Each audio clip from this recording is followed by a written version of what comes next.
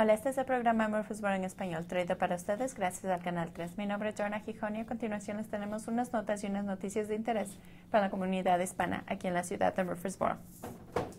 Tres semanas después de la reunión del oficial superior de la ciudad, el administrador municipal Rob Lyons designó al jefe interino de la policía Michael Bowen para el cargo efectivo. El 6 de noviembre, Bowen comenzó su carrera policial en el Departamento de la Policía de Murfreesboro en 1988, trabajando como patrullero, entre, entrenamiento de campo y sargento en 1996. Se convirtió en un teniente de la División Uniformada en el 2001 y fue ascendido a capitán de los servicios de patrulla en el 2003. Fue nombrado como subdirector en el 2010 y se desempeñó como jefe interino previamente cuando Glenn Kurzman se retiró y la ciudad condujo una búsqueda nacional y contrató al jefe, el ex jefe James Durr, hace unos meses de dos años atrás.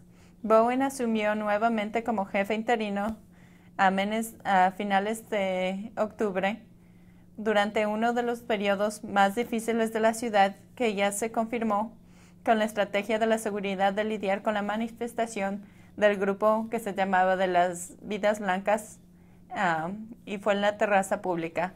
En la última instancia, la Liga del Sur y los varios otros grupos no vinieron a Murfreesboro y el alcalde Shane McFarlane apoyó totalmente la medida y dijo que sentía que no había necesidad para hacer una búsqueda nacional, considerando que Bowen ya estaba disponible. Un graduado de Riverdale High School, Bowen vivió en varios estados en el extranjero también antes de que su familia regresara a Murfreesboro después del retiro de su padre del ejército. Según un comandado de la ciudad, se graduó en el 2007 del personal y comando de la Escuela de la Policía de Northwestern University y el título complementario de la ley de la MTSU y una licenciatura de Justicia Penal de Troy. Bowen es el miembro de la jefe de la Policía Internacional, la Asociación de Jefes de Policía de Tennessee y la Asociación de Antiguos Alumnos de Troy. Él es un graduado del 2012 del liderazgo de Rutherford. Así que muchas felicidades a él, que todo le vaya bien. El sistema de la biblioteca de Leonardburg también recibió 100 mil dólares de la Biblioteca de Archivos de los Estados de Tennessee para crear un nuevo centro de compromiso tecnológico el primero en su tipo del estado de Tennessee. La adición de 2.2 millones de dólares se ubicará en los terrenos de la escuela primaria de Hogwood, con una facilidad acceso de tránsito masivo.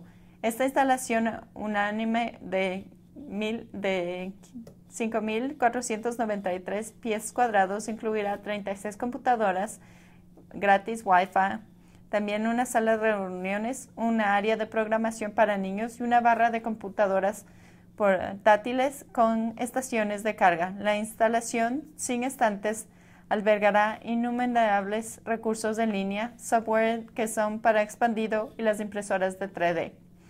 La instalación servirá como una incubadora de pequeñas empresas y un centro de investigación para estudiantes fuera del horario regular de funcionamiento.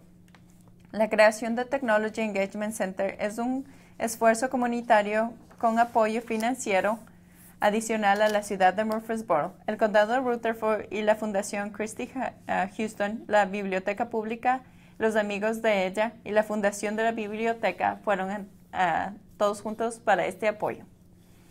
Pasando a otro tema, también marque su calendario ahora para las tradiciones navideñas más apreciadas de Murfreesboro la iluminación del árbol de Navidad de la comunidad histórica en la plaza del centro de la ciudad. Las festividades comenzarán el viernes primero de diciembre a las 6 de la tarde. El evento es el regalo de Main Street Murfreesboro para la comunidad y presentará música especial y mucho entretenimiento. El alcalde del condado de Rutherford, Ernest Burgess, y el alcalde de Murfreesboro, Shane McFarlane, se unirán con Santa Santa Claus y Miss Santa Claus para tocar la temporada navideña. Santa regalará a bordo de un motor del Departamento de los Bomberos de Murfreesboro, siempre con una conmovedora reunión entre amigos y vecinos que todos tienen una sonrisa en sus caritas. El árbol es de 18 años, que mide más o menos unos 20 pies de alto y fue plantado por una familia cuando se mudaron a su casa al sureste de Murfreesboro. En otro tema también los condados de Rutherford y Cannon y la Asociación de United Way se asociaron con el Centro de Defensa del Niño de los Condados, estos para proporcionar programación y educación que aborda el tema del abuso sexual infantil en la comunidad. Con este énfasis de la campaña de 19 días de actismo para educar a la comunidad, el director de impacto comunitario de United Way dijo, la programación del Centro de Defensa del Niño se alinea con el tema prioritario de United Way de seguridad del hogar y la comunidad. El Centro de Defensa del Niño para obtener más información sobre las señales de abuso infantil y los servicios prestados del condado de Rutherford. Al prestar la capacitación para prevención del abuso sexual infantil, el Centro de Defensa del Niño ofrecerá capacitación gratuita para prevención del abuso infantil en las comunidades de los condados de Rutherford y Cannon. Los materiales de capacitación para los niños brindan a los participantes el conocimiento cómo responder si un niño revela abuso. Tomar las consecuencias de este problema en los condados de Rutherford y Cannon es el primer paso para crear una mejor comunidad. Comuníquese con la coordinadora de la educación comunitaria del Centro de Defensa del Niño al 615-867-9000.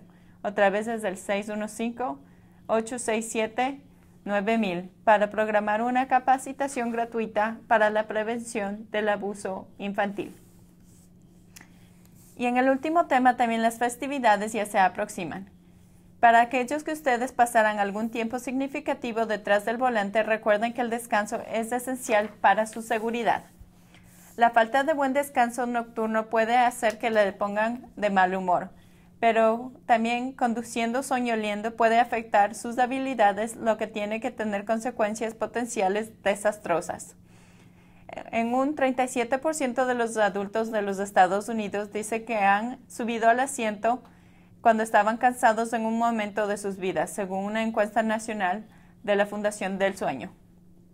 Los que están en mayor riesgo de conducir mientras están solomnios incluyen los conductores nuevos y jóvenes, especialmente hombres y trabajadores de turnos y personas que duermen menos de ocho horas cada noche. De acuerdo con la Administración Nacional de Seguridad de Tráfico, en las carreteras el promedio hay 56 mil choques anuales en los cuales la policía adujo que había somnolencia o fatiga del conductor, con aproximadamente 40.000 lesiones no fatales y 1.550 muertes. Además de los accidentes, la somnolencia puede conducirle a niveles de estrés más altos, tiempos de reacción más lentas y conducción más rápida y agresiva. Los siguientes son pasos de sentido común para mantenerles alerta y seguro en el camino. Dormir lo suficiente por la noche antes de viajar. Los conductores que duermen solo seis horas o siete horas cada noche tienen doble probabilidad de sufrir un accidente que aquellos que reciben al menos ocho horas de, dormir. Este es aún peor para las personas que duermen cinco horas o menos. Tienen cuatro veces más probabilidad de verse involucradas en una colisión. Volcar y si están aburridos, inquieto, está con teniendo dificultades para concentrarse o tener los ojos cansados, necesita un descanso. Haga una parada de descanso, estírese, tome una breve siesta o cambie de conductor. Tome un descanso cada dos horas, ajuste su configuración de su auto. Mantenga más alerta manteniendo la temperatura fresca, tocando la música alta y apagando el control automático y que coloque el respaldo del asiento en posición vertical.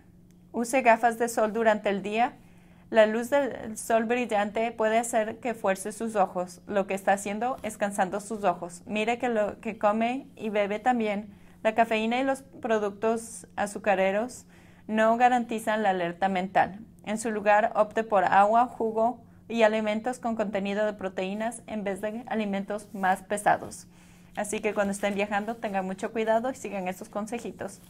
Esto es todo por ahora. Yo les agradezco una vez más por sintonizar Murfreesboro en español. Nos vemos aquí mañana en el mismo canal. Chao.